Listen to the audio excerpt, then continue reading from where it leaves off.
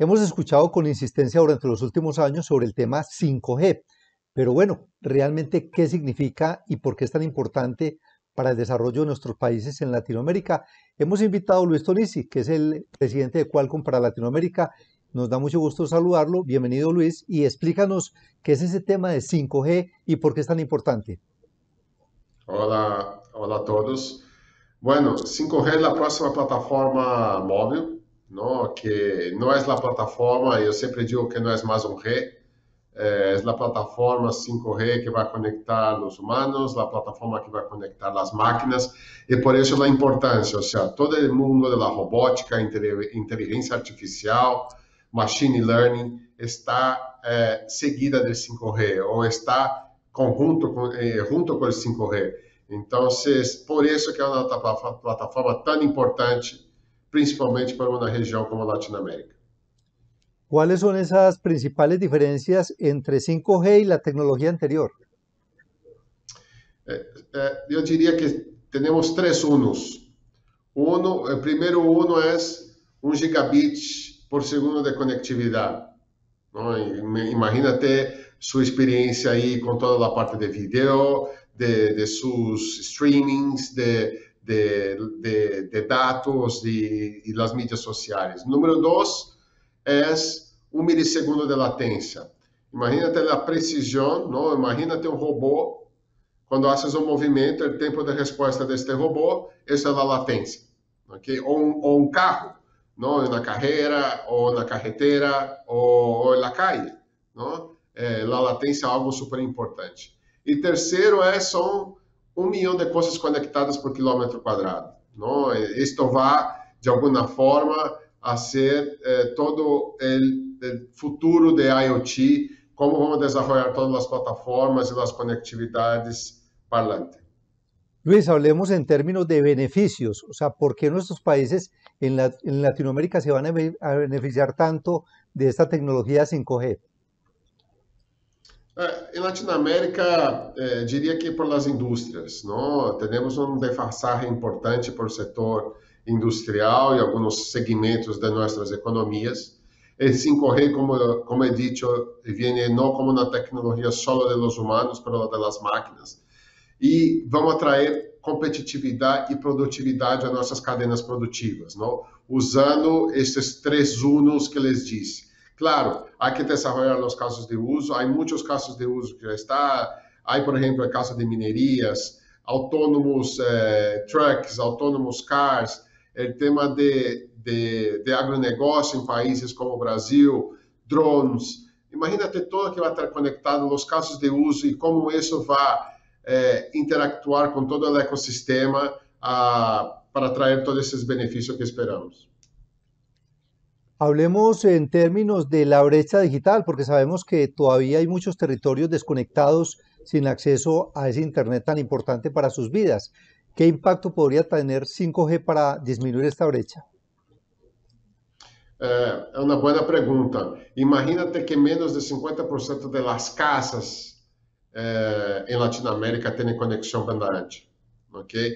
Eh, estamos incluso lançando produtos de 5G agora que são produtos que recebem 5G e passam o Wi-Fi dentro da casa do cliente. Não? Há um deserto digital, todavia. Eu creio que com 5G nos vai ajudar a ir mais allá. Você pode dizer, por que não lo hacemos com 4G? A diferença é que a rede 5G é uma rede B2B, B2C. Antes se necessita chegar com cable ou chegar com fibra, depois outro serviço é o serviço móvel. Ou seja, são várias redes para serviços distintos. Agora, com 5G, vamos atender uma rede. E desta rede, vamos atender múltiplos casos de negócio, ok? Do que vai nos ajudar a, a que este deserto digital diminua e que, uma vez mais, tragamos a uh, competitividade e produtividade também que necessitamos. Então, há muitas coisas, não? Esse caso de 40% de, menos de 50%, perdão, das casas conectadas com banda em Latinoamérica, é, é, para mim é um, um grande exemplo. Okay? Ou seja, o 5G tem a oportunidade de trazer esta velocidade e trazer esta conectividade onde não a temos ainda.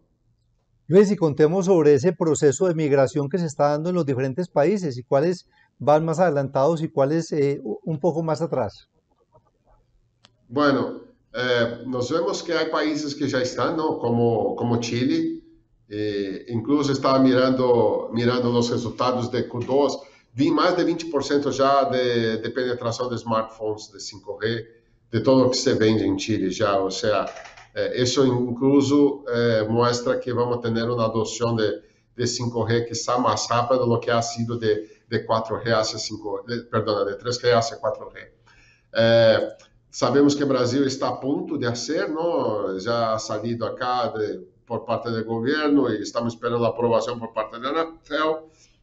México, eu creio que tem também uma, um, uma intenção de lançá-la, e Colômbia, ou seja, Colômbia, esperamos que Colômbia lance é, pronto possível, porque, como les disse, a oportunidade, é 5G não é um